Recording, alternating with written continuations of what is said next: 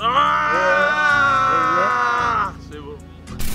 Salut à toi, c'est Chinois de la boutique Ricant. Aujourd'hui, je voulais faire une vidéo sur le combat entre Floyd Mayweather et Conor McGregor.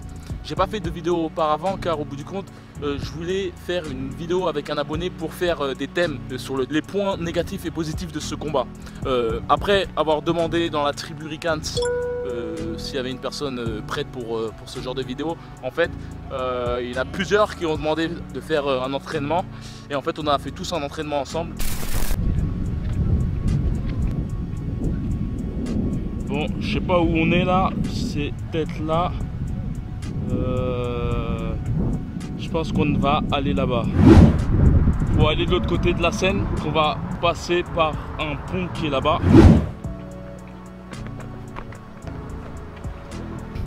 Pour les personnes qui me suivent depuis un petit moment, ils reconnaîtront le, la passerelle de Simone de Beauvoir où en fait j'avais fait un sparring avec euh, Shérif.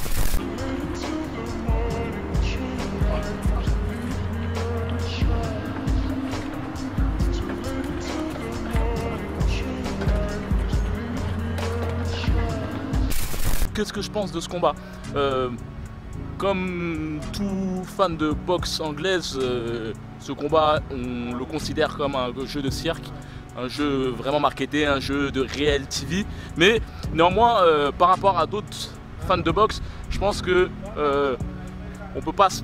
Je ne suis pas dans, le cas où je trouve que c'est un tollé. Après, c'est un combat que Floyd Mayweather et Conor McGregor sont parvenus à, à bien marketer, à bien vendre, il y a des clashs euh, sur, euh, sur les réseaux sociaux.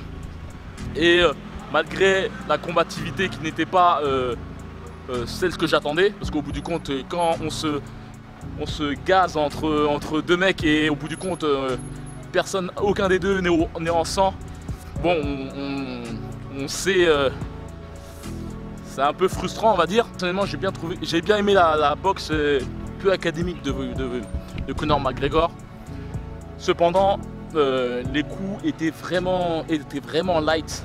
Je pense qu'il manquait vraiment le petit soupçon d'appui pour permettre de bien perforer la garde de Floyd Mayweather. Après, bien sûr, un combat ne se fait à deux.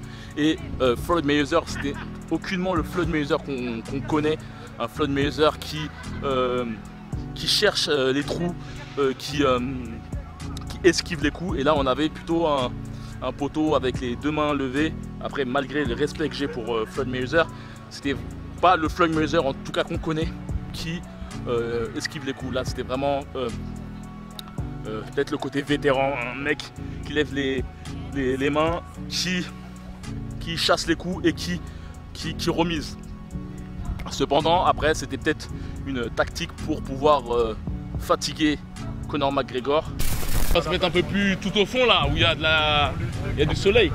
On va profiter de ça. Vous essayez vous essayez de donner un état vidéo, vous mettez, un... vous mettez euh, les gants pour, pour, pour frapper, vas-y. Attends, je te fais, je te fais-le. Chasse, chasse les deux premiers. Et derrière, voilà, la main là, ça vous permet de chasser. Et le truc, c'est pour esquiver en fait, c'est ça en fait. C'est la rotation de ça en fait. Ah, à toi, à toi, Alex. Alex, à toi de frapper. Non, non, c'est à toi de frapper. C'est à toi de. Voilà. Voilà, exact. Après, à la question, est-ce que c'était scénarisé? Floyd Mayweather aurait scénarisé le fait de euh, arrêter le combat euh, tardivement. Bah, pourquoi mettre le terme scénarisé dans un terme où on pourrait dire simplement que Floyd Mayweather a eu comme tactique d'arrêter le combat au dixième round, mettre son expérience à l'œuvre à la deuxième partie de ce combat, vu que euh, Conor McGregor vient du MMA. On sait que les boxeurs du MMA n'effectuent pas 12 rounds, n'ont pas l'habitude d'effectuer 12 rounds. C'est plus des sprinters que des, euh, des marathoniens comme peut l'être des, boxeurs. Après, la seule chose, c'est que Floyd Mayweather, en tout cas pour, euh, pour les vrais aficionados de, la boxe, terminera sa, sa carrière avec un goût amer. Parce que personnellement, on peut, en tout cas, sa fin de carrière, on peut le, considérer comme un, bon businessman, un bon marketeur. Euh, et, puis voilà quoi, c'est sa victoire avec euh, Conor McGregor, c'est une victoire, mais, mais bon, euh, c'est sans plus face à une personne qui a jamais combattu en boxe anglaise Et puis aussi sa victoire avec Manny Pacquiao, qu'il a pris super tardivement. il a fait ce combat face à un Manny Pacquiao fatigué. Pareil, ça donne un goût amer.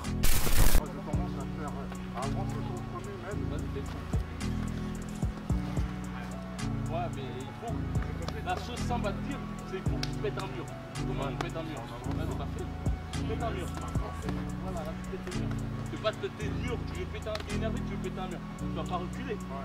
Tu pètes mur. Comme dit Tyson, euh, le but c'était de, de rentrer l'os dans, dans, le crâne. Tu ne poses pas le crâne en faisant je sais pas, mais. Faut penser à ça. Pense que tu pètes un mur. Tu pètes en haut, tu veux monter l'os en haut. Vois mettre la face tout là-bas. Pense à ça. Faites des coups sur le putain.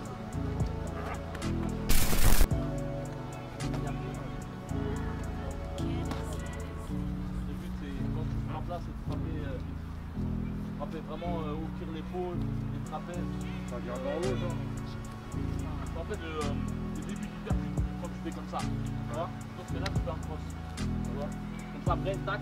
C'est comme si tu étais déjà en pour faire un hypercut. Et. Le est ultra intelligent, ce qui est aussi euh, digne de sa part. Quoi. Un gars intelligent sur le ring, mais aussi intelligent euh, en dehors du ring. Donc voilà, n'hésite pas à me dire ton avis sur ce combat. Personnellement, j'ai kiffé, euh, en tout cas les, la première partie du combat, mais sans plus, manquer vraiment de, de hargne. Ça a beaucoup parlé, mais ça ça n'a pas euh, tapé comme, euh, comme il se doit. Après, j'ai un respect, euh, un grand, grand, grand respect sur les deux combattants. Mais voilà quoi.